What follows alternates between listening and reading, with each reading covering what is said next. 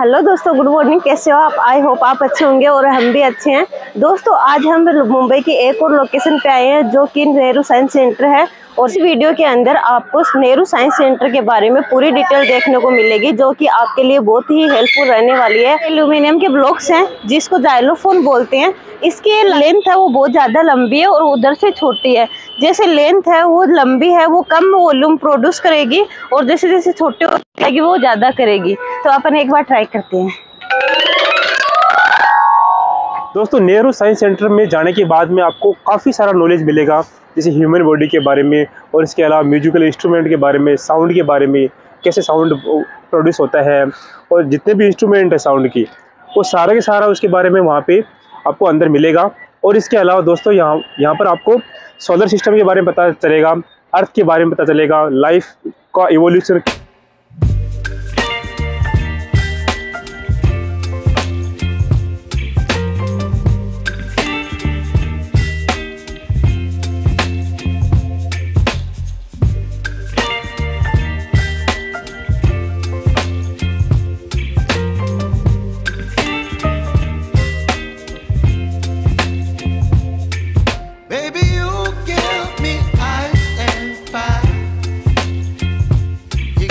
we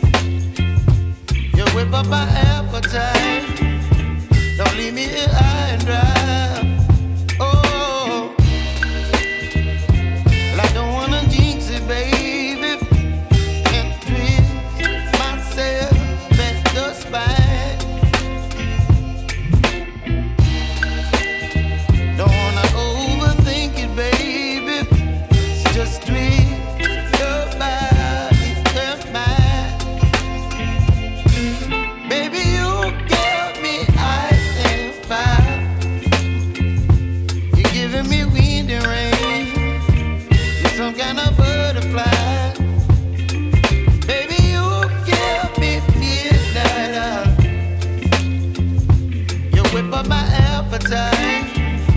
Don't leave me here.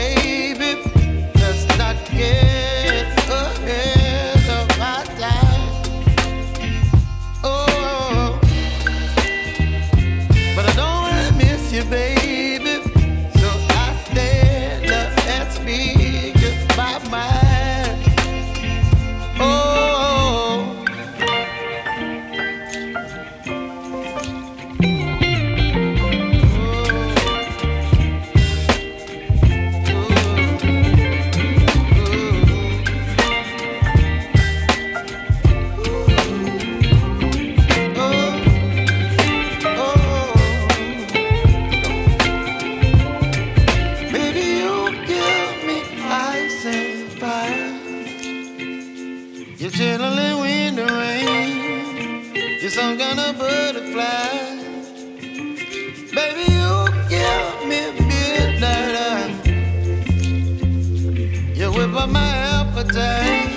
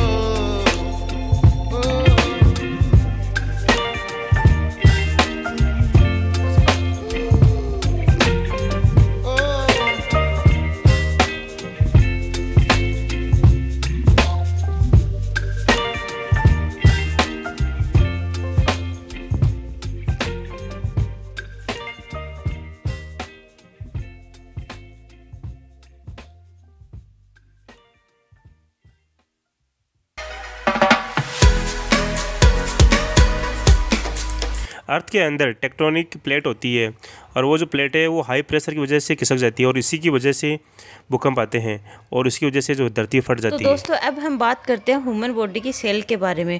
तो basically human body की cell में दो टाइप की सेल होती है प्रोकैरियोटिक और यूकैरियोटिक प्रोकैरियोटिक सेल के अंदर cytoplasm cell wall plasmic DNA ये सब पाया जाता है और और यूकैरियोटिक सेल के अंदर न्यूक्लियस माइटोकॉन्ड्रिया ये सब पाया जाता है और सेल इस टाइप से दिखाई देती है। अब हम बात करते हैं आरएनए की। आरएनए सिंगल लेयर स्ट्रक्चर होती है और इसकी वजह से धरती पर लाइफ का ओरिजिन होता है।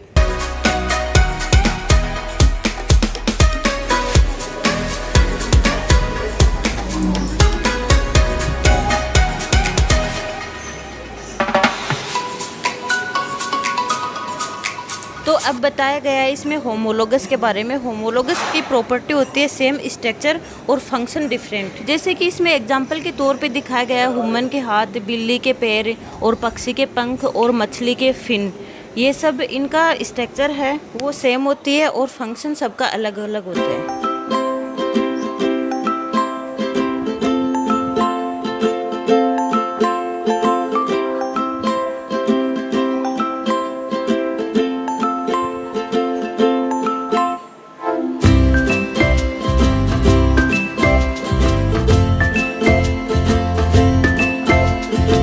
अब हम चलते हैं और हम देखते हैं साउंड और हियरिंग के बारे में। बेसिकली साउंड एक एनर्जी होती है। इसको ट्रैवल करने के लिए मीडियम की ज़रूरत होती है और साउंड है वो एक लॉन्गिट्यूडल वेव होती है। यहाँ पे बेसिकली वर्चुअल हार्प दिखाई दे रहे हैं आपको। ये वर्चुअल हार्प है अलग अलग लेंथ के। इनको हम बजाएँगे तो अलग अलग इनसे साउंड निकलेगा।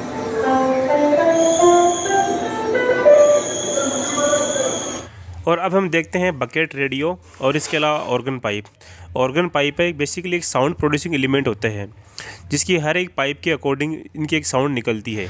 और इसके अलावा यहाँ पे डिफरेंट टाइप ऑफ़ इंस्ट्रूमेंट है, जैसे बाँसुरी है, सितार है, सरोद है, संतूर है, और इनकी अलग अलग इनसे आवाज़ निकलती है।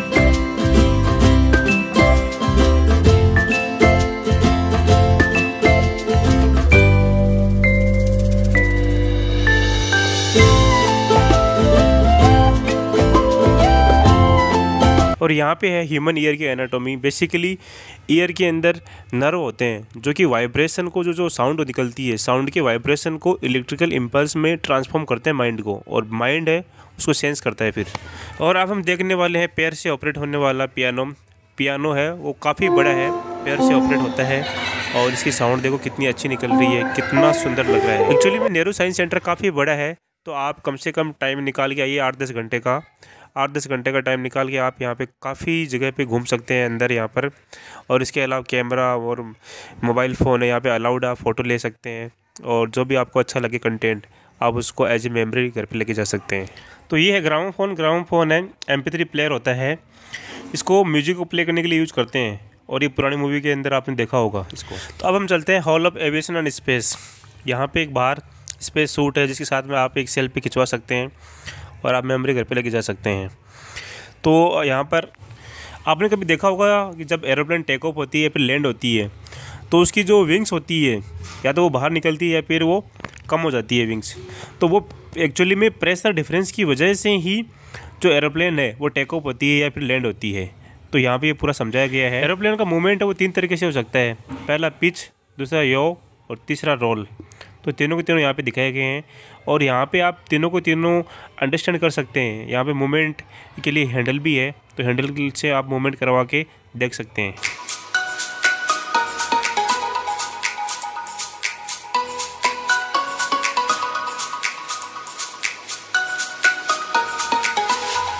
तो अब हम बात करते हैं एटमॉस्फेरिक प्रेशर की। जैसे जैसे अर्थ के ऊपर जाते जाएँगे वैसे वैसे एटमॉस्फेरिक प्रेशर वो कम होता जाएगा। तो यहाँ पे आप देख लीजिए।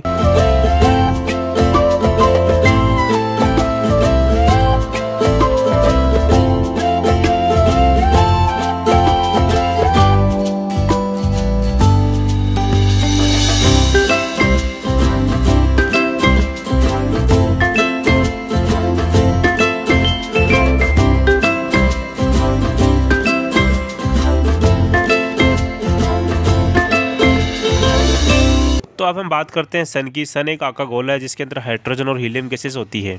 इसके अंदर न्यूक्लियर फ्यूजन रिएक्शन होती है।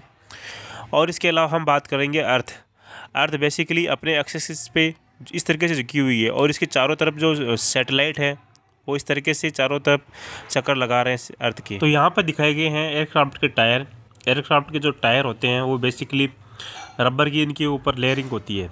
और इसके अंदर हीलियम गैसेज या फिर नाइट्रोजन गैसेज भरी हुई रहती है। तो इस ये दिखाई दे रहे हैं आपको एयरक्राफ्ट के टायर।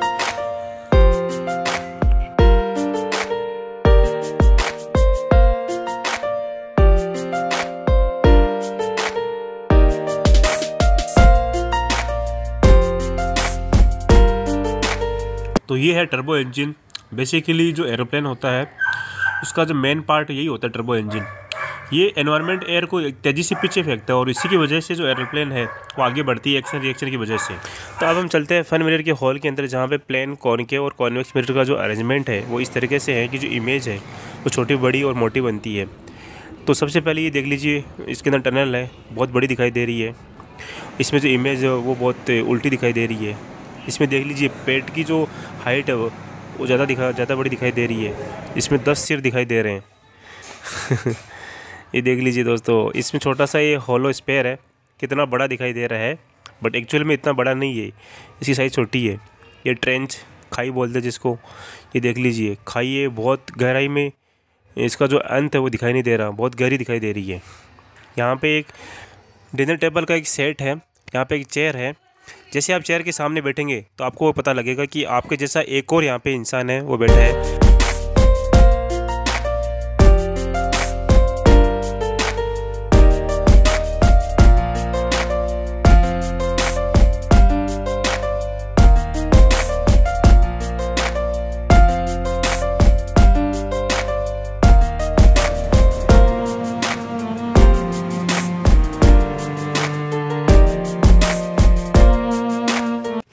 भूल भुलैया रास्ता ये आपको ज़रूर ट्राई करना चाहिए, क्योंकि इसमें एक रास्ता रहता है और इसमें बहुत सारे कांच रहते हैं।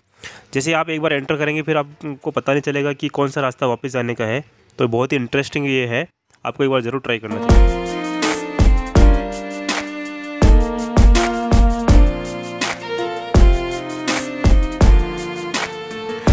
तो आप देखते हैं प्री लाइफ एक्चुअली में प्री लाइफ का कुछ मेंटेनेंस का काम चल रहा है तो हम देख नहीं पाए। तो आप देखते हैं मैथमेटिकल फार्मूले और नंबर्स, उनका जो फार्मूले वो कैसे जनरेट हुए, नंबर है वो कैसे बने तो उसके बारे में सारी की सारी हिस्ट्री है, यहाँ पर आपको मिल जाएगी।